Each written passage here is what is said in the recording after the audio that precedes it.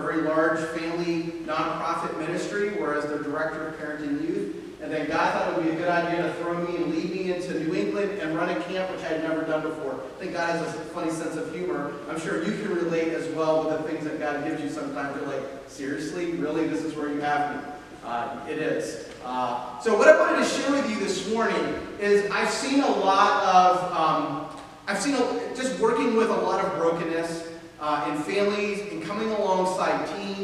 coming alongside families that have experienced uh, whether that's divorce or addiction or you know death, uh, as families try to make sense of their life. I've had a very much a front row seat with many of the teens and kids trying to make sense of life. Where do you find hope? What do you place your faith in when everything seems to crumble around you? And what I wanted to share with you this morning is some of the things that I have learned, not just because of my own experiences or how I've come alongside others, but my own. You know, my own coming to deal with who I am apart from Christ. How do I, as a husband and a father, how do I lead my family well? Um, where, where do, how do I point to Jesus despite right our culture today, which seems to be in chaos? How, how do we navigate that? I don't think we can navigate it without faith and understanding that. So I have a question to pose you. And by the way, I don't sit well because I usually am speaking. So if I come down, you guys won't be too freaked out, would you? Okay, all right. This is what I love about Jesus. This is actually what I love about God. Is God didn't just stay somewhere. He sent his son Jesus to be white with us. Amen? And so, so, so I'm going to do that for you. So if I come in your area, again, I apologize. When we talk about faith, so the question I have for you this morning, how would you describe your faith right now? If you had one word, growing. Growing. I, look, man, look, you're already, you you are participating. I love it. Growing. But how would you describe faith? How, how would you describe your hope right now? Know, we think of faith, we think of a definition of faith, you know, we typically think of something that we can have placed our full assurance, our full trust in whether that's a person or a place. And for, for us, as we gather together, right, we've been singing about it. We, we open up God's Word, and, and for us sitting here, there's this semblance of we have placed our faith in a God. Now we hope, right? And sometimes the world can maybe say or experiences in our life will tell us a different story, but is He a God that we can trust based on your experiences, right? what's happening in culture, right? You can arrive at the conclusion that he really is not really engaged with us, that he's maybe disconnected from whatever is making you anxious or fearful or stressed this morning. Right? We can arrive at that conclusion, but faith is this understanding is can I place my confidence in God? Can I place my confidence in Jesus Christ? Well, then we have this terminology of hope. You know, hope and faith are actually very they, they, work very well together. They complement each other very well. In fact, in some ways, you cannot have hope without faith, and you cannot have faith without hope. Right? And we see that throughout the scriptures.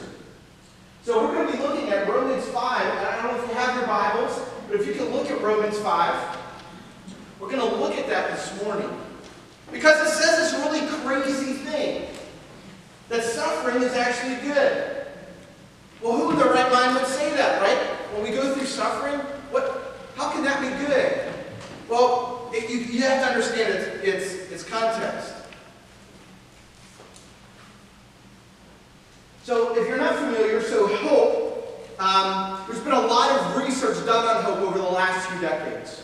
Right? They've been actually like, what is it to have hope? Who are these people that have hope? What is it? Did you know, and this is kind of eye-opening for me, that hope is not a feeling, do you know that? In all the research that they've done, that hope is not a feeling. It's actually a thinking, it's actually a cognitive process of working through and understanding what hope is. Typically when we think of hope, it's like, hey, I hope you do really well on that exam. That's really not hope.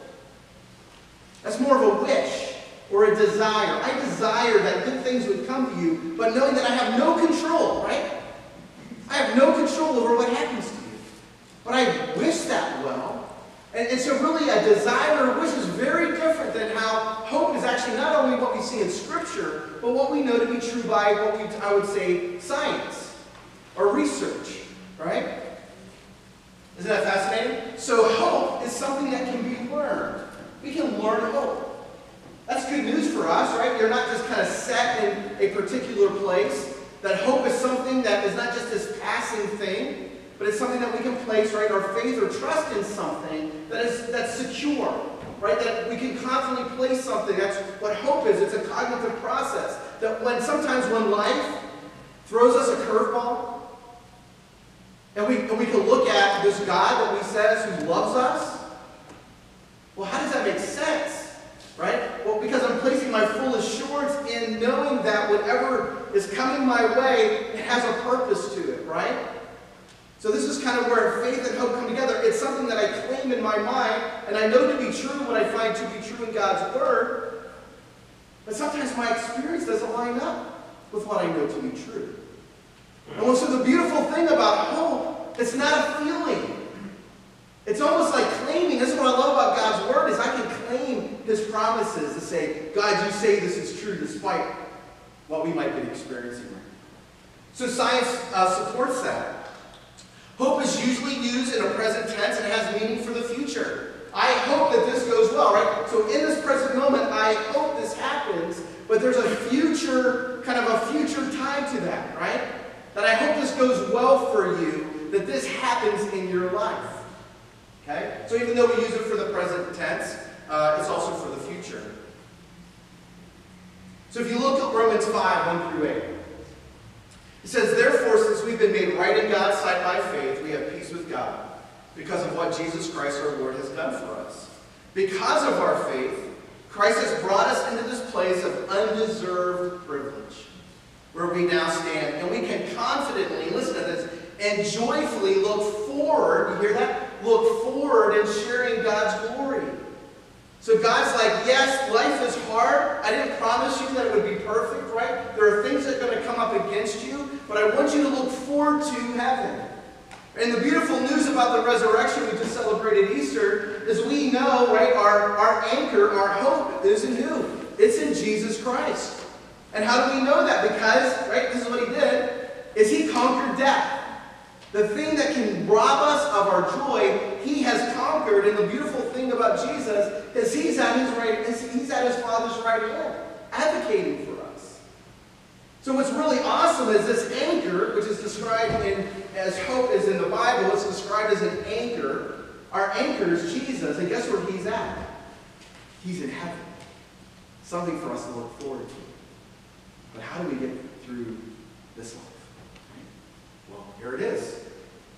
We can rejoice in verse 3, 2, when we run into problems and trials, for we know that they help us develop endurance or produces. What I love it says in the Bible is that suffering produces something.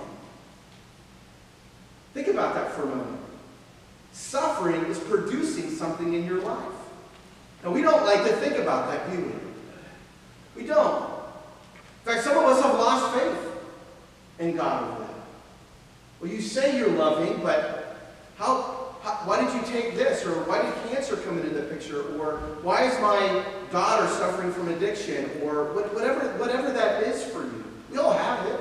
I have it. I've seen it. Most of my life has been coming around, alongside families and teens trying to make sense of the devastation. Well, what, what can I point them to? I mean, I can, be, I can give words of encouragement, but I'm going to disappoint you, right? We disappoint each other. That's my wife for 22 years. We're still working at it every day. And so, and, and although I, I, I think I'm a pretty good guy, it's not enough. It's not enough. I have to point to the one who I can put my absolute faith and trust in, and that's Jesus. Because Jesus has conquered death. Which, right? Which is awesome. And so, so when we, we see that here, here in the text, is that suffering is producing what? Endurance. Perseverance. You see what the end, the, what the end result is of, of, of our suffering? Hope. I, I like, when I read the text, it never really made sense to me. It's like, well, shouldn't we have hope before suffering? Well, what the research will tell us, and what we see to be true in Scripture, is that suffering actually produces hope. Because this is what it does. It really makes sure that you're putting your faith in the right places.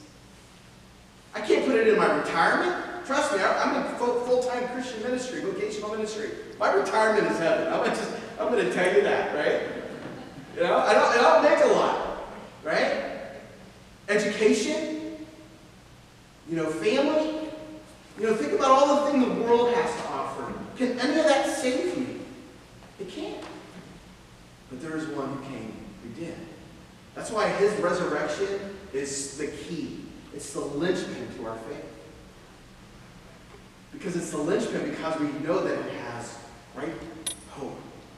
That somehow that the pain that we go through is producing something that someday I will be able to, as a, an, an eternal being, which we are eternal beings, right? That the death is not the finish line for any of us. In some ways, it's just the beginning, right? But we lose sight of that, don't we? And the hurt and the pain and the stress. We are more stressed out than ever. You should see the statistics on teens today.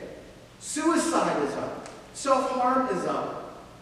Depression, anxiety. There are more kids being ministered medication because they're so stressed and anxious. There's lots of reasons for that.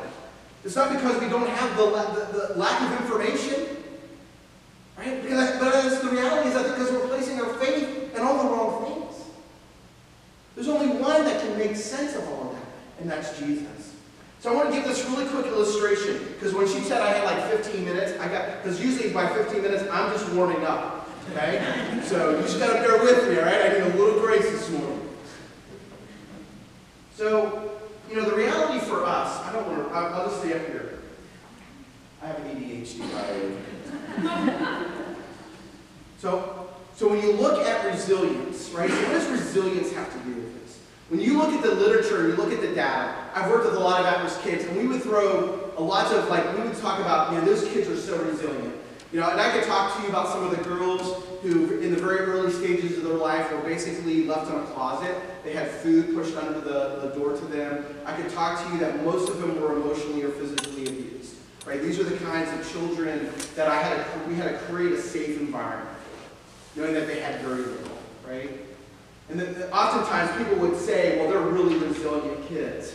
Actually, what they were really good at is surviving, right? So surviving, listen to this, the definition of surviving. And I think sometimes this describes our faith, is we're just existing. Right? We're just existing. Resilience is not existing. Because if you look at the definition of resilience and surviving, I love guys are behind. But the beautiful thing about resilience and surviving is if you look at the definition, they look very similar. But this is the difference between having a resilient faith versus a surviving faith. A resilient faith is that once you go, when, when you go through a troubling time, when you go through something that provides pain, that stretches